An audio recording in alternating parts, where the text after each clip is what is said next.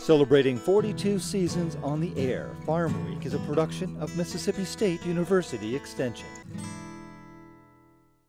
Today on Farm Week, chronic wasting disease in deer. The count is up to nine in Mississippi. A kernel of truth, Super Bowl advertising offends big corn. Confused about fertilizers? Success happens. Gary Bachman has the scoop. And urban farming. The learning curve can be steep, but so can the payoff. Farm Week starts right now.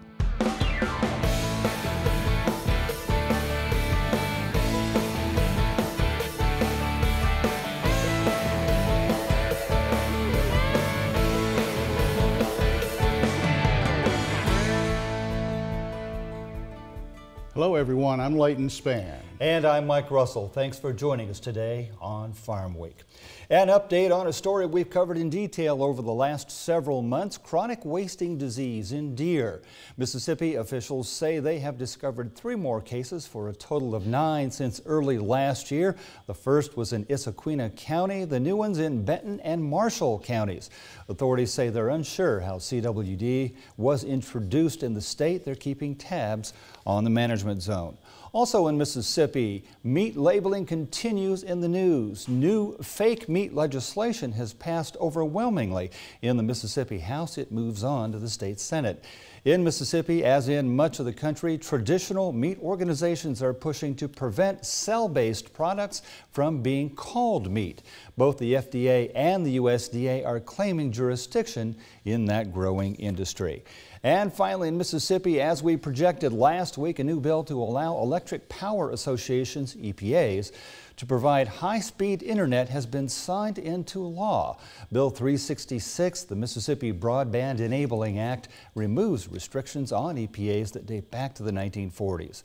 The new law has wide-ranging support, though a plan to pay for the infrastructure has yet to appear. In global trade, the stage is set for talks between the U.S. and the EU, though it appears there's not much room for compromise. The U.S. is seeking greater access to ag markets in the EU, but that market is strong politically. Later this month, the EU will vote on whether to embrace trade with America. Many are saying that shouldn't happen while other tariffs, uh, tariffs in other sectors are still in effect. And a ceasefire in the American trade war with China is still on for now. Lately, China has made impressive purchases from the U.S., including another 612 metric tons of soybeans. That after a pledge to buy 5 million tons during trade negotiations. Still, during his State of the Union speech this week, President Trump said China must pledge to make what he called real structural change to its trade policy and be willing to protect American jobs. Some are calling the possible end of the ceasefire on March 2nd terrifying. And finally, leaders in Iowa, the nation's largest by far producer of ethanol, met recently at the Iowa Renewable Fuels Summit. More than half of Iowa's corn crop goes to ethanol. Still fresh in everybody's mind, many of the 2018 refinery exemptions to the Renewable Fuels Standard, RFS. Many of those were handed out, some say like candy, by former EPA Administrator Scott Pruitt. Some of those cases are destined for the courtroom. The outcome, outcome could affect hundreds of millions of gallons of ethanol. With the pressure that ag producers have been under for so long, you'd think a little tough love might be the last thing they want to hear. When the markets are down and you're complaining about not making a whole lot of money, and there's other options available and people in the state and resources available on the state level and the, the federal level to help you find markets, then you need to explore every opportunity you have.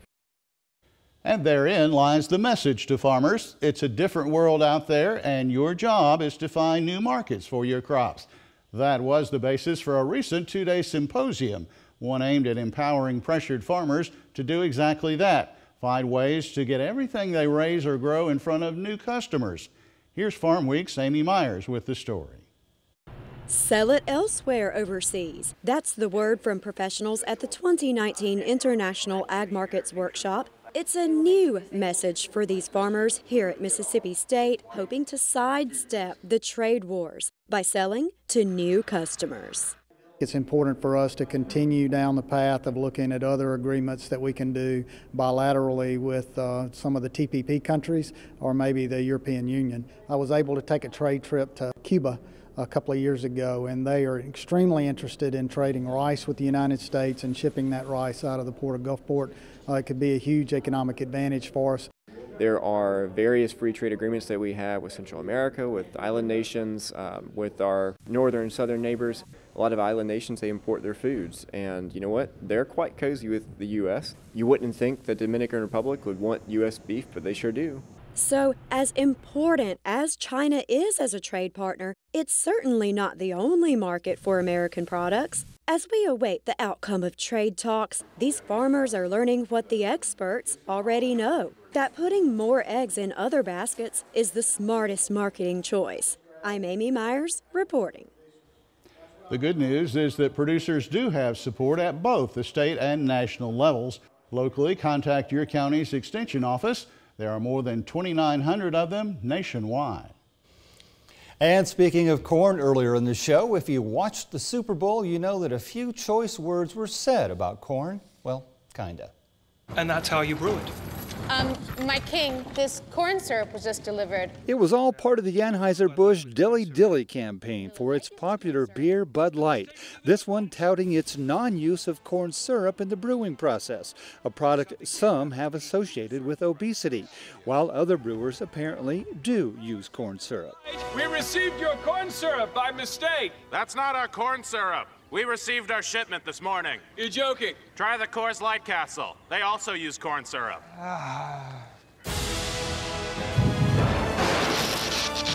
Can you smoke outside?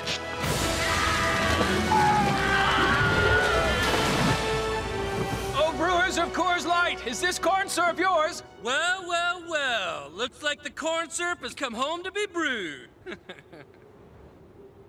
to be clear, we brew Coors Light with corn syrup. Ah. Bud Light, brewed with no corn syrup. The National Corn Growers Association wasted no time in responding. It tweeted Bud Light. America's corn growers are disappointed in you. Our office is right down the road. We would love to discuss with you the many benefits of corn. Thanks, Miller Lite and Coors Light, for supporting our industry. Miller Lite responded too, tweeting, Hey Bud Light, thanks for including us in our first Super Bowl ad in over 20 years. You forgot two things though. We have more taste and half the carbs. It's Miller time. Miller Coors tweeted back at Anheuser that none of its products are uh, use high fructose corn syrup. Apparently, there is a difference, while a number of Anheuser-Busch products do. Meanwhile, Samuel Adams got into the act as well. It tweeted that it is brewed with no corn syrup and no rice. Everyone has a recipe. And speaking of that, are you confused about the right fertilizer to use in your garden? It happens. Here's Gary Bachman with a way to tell the difference before you get knee deep in your garden planting season.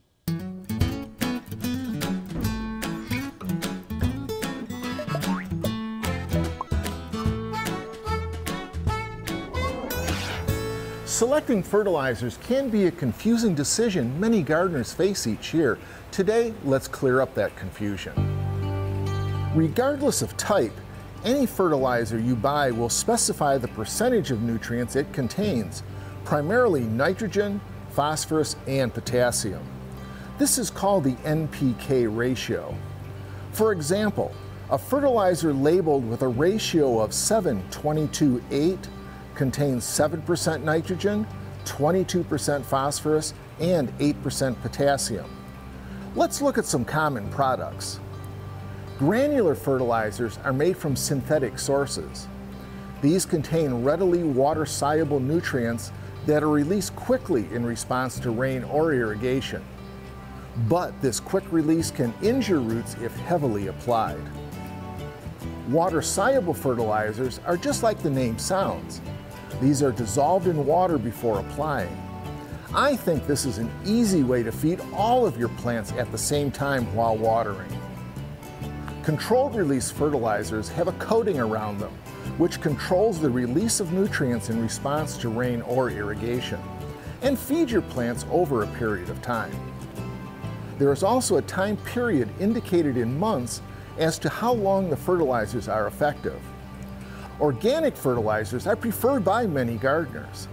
These products release their nutrients slowly by breaking down in the potting mix rather than relying on moisture to solubilize the nutrients. Feeding your plants is not rocket science. You can't go wrong with any of these products. I'm horticulturist Gary Bachman, and I'll see you next time on Southern Gardening. You don't want to start off on the wrong foot with a fertilizer mistake, that's for sure. Because nobody would think you had a green thumb if that happened. well, Mike, with each passing day, we are starting to get some idea about potential planted acreage this spring and summer. More corn in the U.S. is now one firm's prediction. Meanwhile, the price of cotton remains flat, but a larger U.S. crop could happen as pulpwood prices head north in one part of the state and for a good reason. On February 9th, the National Cotton Council releases its annual planting intentions report for cotton. But as early as two weeks ago, Informa Economics came out with its estimates of U.S. planted acreage this year. Their economists call for 91.5 million acres of corn to be planted nationwide in 2019, over 2 million acres more than a year ago. But there will be fewer acres of soybeans in the ground, just over 86 million acres, according to Informa. Trader Ted Seifried says he's comfortable with these numbers. Fairly close to what I'm looking for, 91.5 million acres in corn. um, I think they're maybe a little bit low on their soybean acreage because you know I don't see all that other acreage going to cotton and other things. Um, but yeah, you know, it's, it's right in the wheelhouse. I think somewhere in the low 91s is probably where we'll land on corn. Uh, and as far as soybeans are concerned, I think somewhere between 86 and 88. Um, a lot of acres have been decided on, but there are still some swing acres, and that could still be another three or four million acres out there, maybe five or six million. So uh, I don't think we're quite there yet as far as a final decision, but yeah, for right now, I'm, I'm feeling pretty comfortable with the numbers that Informa gave us. China's recent announcement to begin buying some U.S. rice opens the door for things to happen in other markets, most notably U.S. wheat. Analyst Sue Martin explains what she's seeing out there and also discusses some spinoff for the corn market. What it does more for me is it really comes back into play not only on global stocks, but in domestic stocks of the U.S., where we are tightening our wheat stocks as we believe. And then globally, wheat stocks are coming down. When you have corn stocks tightening globally, and then you've got wheat stocks tightening, and now rice, the last one to throw in because coarse grains and mm -hmm. corn and wheat are in that. But you throw in now rice. Rice is interchangeable for wheat globally for food. And so all of a sudden, now you've got all of them. Now you've got a story that puts an underpinning under the brakes. The president and CEO of Staple Cotton says he expects to see a bigger cotton crop in the Mid-South this year, primarily due to lower prices for soybeans. For the U.S. as a whole, Staple Cotton is forecasting a 21.7 million bale crop for 2019. Acreage is expected to be down slightly in the southeast. Trader Elaine Kub shares some thoughts she's having about the cotton market as we get a little further into February. So cotton has, has kind of moseyed along higher alongside some of these other agricultural markets in the past couple of weeks, and that's been good. But the difference is it doesn't have this uh, uh, downside pressure. It's not coming up against recent highs that would make people want to sell it. So actually, I see continued upside for cotton. Maybe not 80 cents, but I'm not in a big hurry to, to be selling cotton at this point. Well, you might be in a big hurry to see our trivia quiz for this week. It's very timely. And here it is. Where was the first Arbor Day held? So, what do you think? Is the answer A, Nebraska, B, Alabama, C, Virginia, or D, Indiana? We'll have that answer coming up for you on Farm Week. We'll take a break right here, but don't go away. Coming up in our Farm Week feature, imagine a farm that's only 400 square feet, uses only 8 gallons of water a day, grows a variety of crops without the sun, with a crop cycle from seed to harvest in 8 weeks. Can you actually make a living this way? Yes, you can, and we'll meet an urban farmer harvesting his way into the hearts of his customers. That's coming up on Farm Week. Don't go away.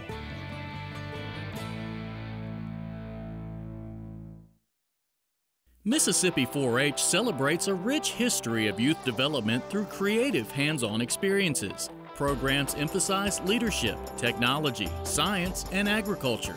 But it's a lot more than that.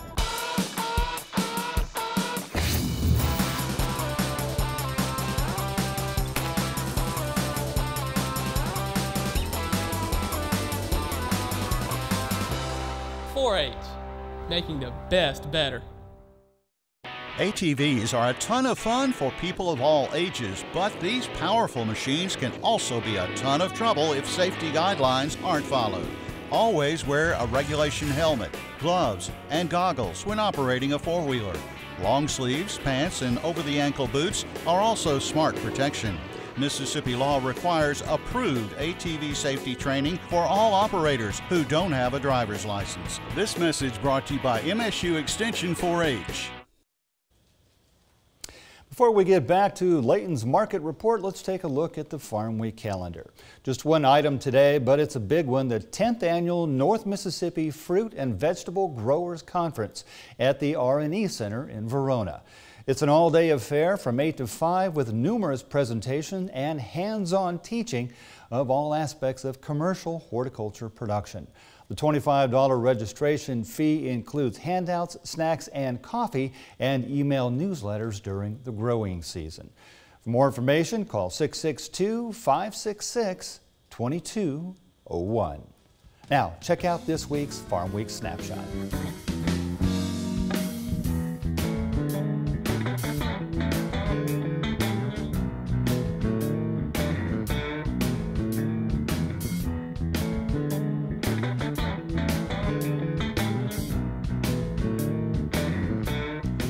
Are brighter days ahead for the U.S. pork industry in 2019?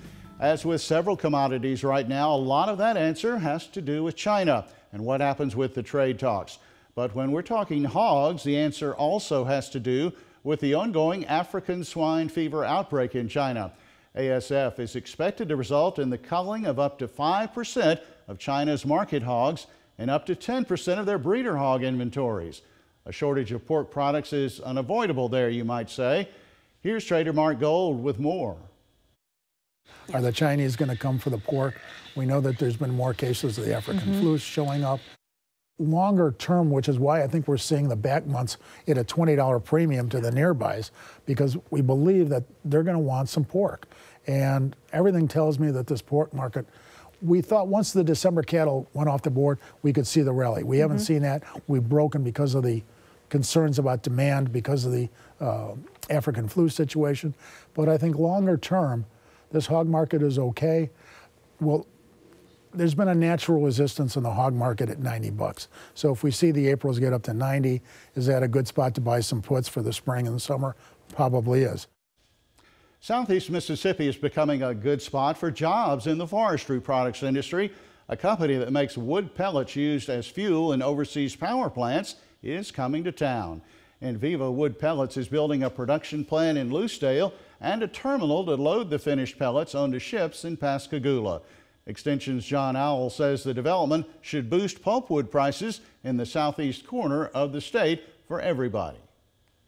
Pellet, pellet industry really competes with the pulpwood industry, and so we're getting higher prices already for pulpwood down in southeast Mississippi, which means that there's more competition and that's always good for prices. And so mm-hmm. adding another an, another mill in that area that takes essentially the same material can only have an upward uh, an, an upward pressure on those prices. And so hopefully the private landowners in southeast Mississippi will be will benefit from that. Now that mill I think is probably 16 months out.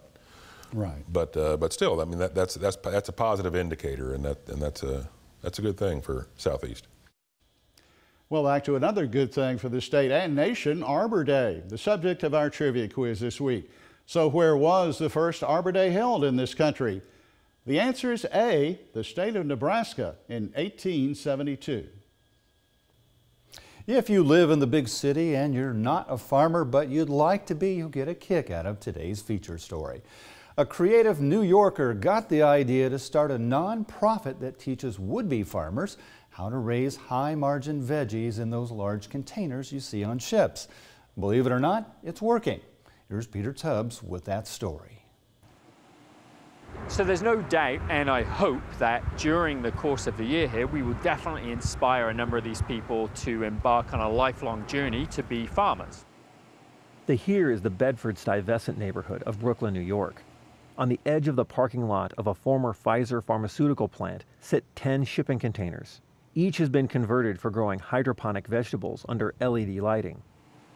10 laboratories for aspiring agricultural entrepreneurs growing food that is unique in product and location.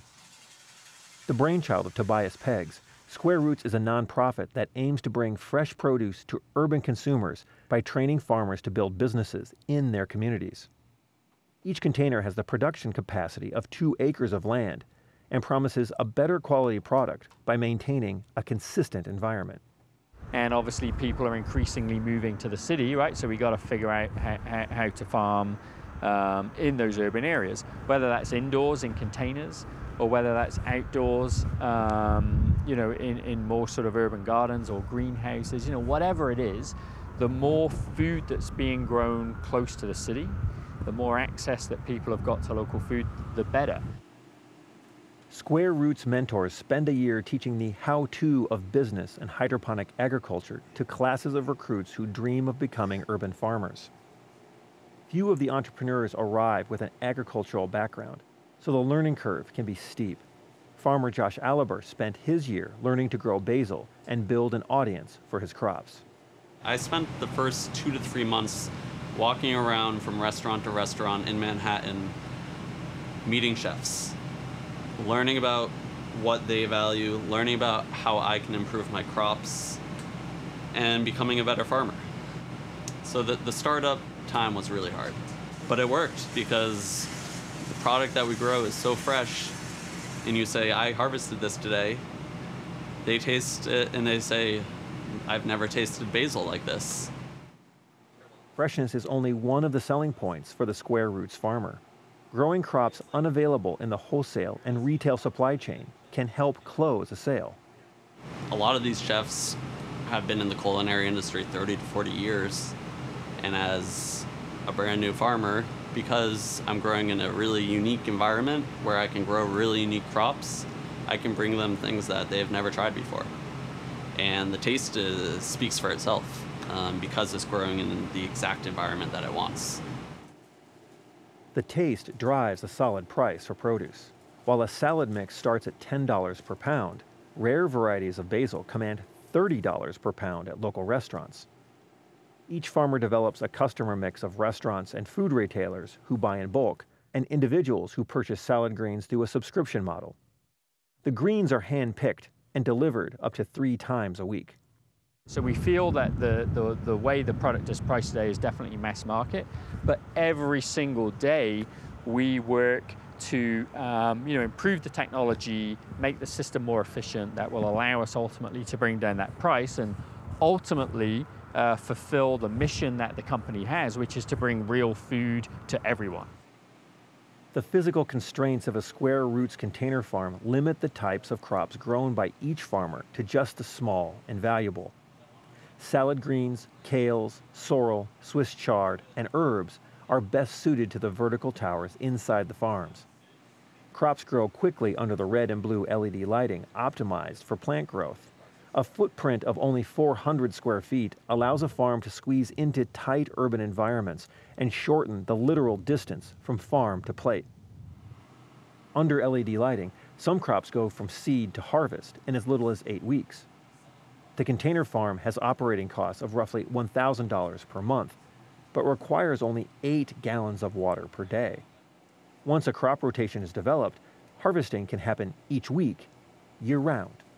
So what we're able to do is create unique environments for crops in very urban settings. Um, today we're in Bed-Stuy. I personally grow crops that you wouldn't typically be able to find in a local environment. The ability to simulate varied environments is another advantage of growing crops inside a container. If a variety of basil prefers a specific temperature, humidity, or altitude, the environmental controls within a Square Roots farm can be set to mimic ideal growing conditions. While the ability to grow a high volume of quality produce in a small amount of urban space has been confirmed, price is the next frontier. For urban container farming to scale up and become affordable for a neighborhood, the cost per pound will have to decline. The fact that we're able to compete now tells us that as we really increase production and bring the cost down, we're going to be able to produce food at a much, much more competitive cost that's better quality than is already existing in the marketplace. Until then, the farm incubator will continue to experiment with a food supply chain that can be measured in yards rather than miles. At the end of the day, I think what the consumer wants is food that they can trust and that tastes really amazing. And if you know your farmer, you trust the food. Once you taste that food, you're won over. Now that's using your head along with a little bit of elbow grease. It certainly is, Mike, and that's one way to get that produce to the neighborhood for sure. But here's another. Next week on our show, Farm Week, in central Milwaukee, in one of our nation's poorest areas, a success story. Fondy Farms, two dozen farmers renting an acre apiece, producing 70 kinds of crops that feed the neighborhood. And this farmer's market processes 12 times the SNAP dollars of the average market. They're gardening for good, and it's a win-win. That's next time on Farm Week. And a reminder, if you missed the story, look for the past episodes of Farm Week at our website, and that is farmweek.tv. And don't forget to follow us on Facebook, Twitter, and YouTube as well. Thanks for watching. We'll see you next week.